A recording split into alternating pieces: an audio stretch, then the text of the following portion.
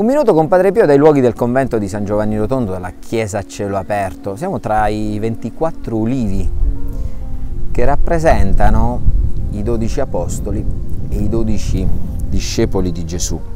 Ecco, qui tutto ha un significato importante, il significato eh, anche dal punto di vista liturgico di questa splendida chiesa. Eh, all'interno eh, tanti i fedeli che finalmente sono tornati a a ritagliarsi qui a San Giovanni Rotondo delle esperienze di preghiera, eh, di meditazione accanto a Padre Pio da Pietrelcina. Oggi abbiamo l'epistolario numero 3. L'epistolario numero 3 è l'epistolario che raccoglie eh, tutte le lettere che Padre Pio scriveva alle sue figlie spirituali, suoi figli spirituali.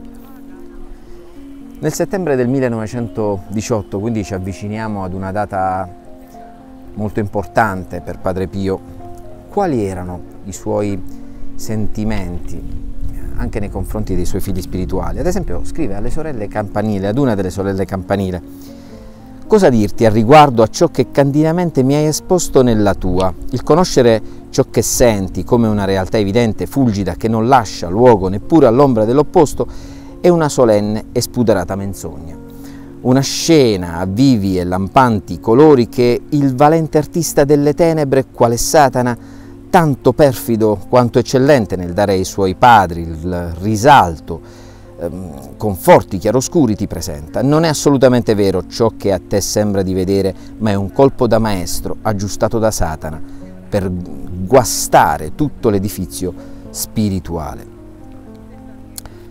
Se vuoi presentare preservarti dalla colpa, scrive Padre Pio ad una delle sorelle campanile, qui non viene specificato a chi, e non vedere crollare miseramente questo grande edificio spirituale che Dio va innalzando in te, figlia mia. Disprezza ciò che a te sembra di vedere, perché è opera del nemico, è menzogna. Non ti ci mettere a pensare sopra, ma disprezza tutto in nome della santa obbedienza. Ogni condiscendenza per parte tua a questo fosco quadro satanico, per quanto leggera possa essere, è sempre un rovinarti e tu invano ti affaticheresti a darti a credere che faresti qualche cosa per l'anima tua con l'essere condiscendente alla maligna insinuazione satanica. Sarebbe per te la più grande illusione e il tracollo completo della tua rovina.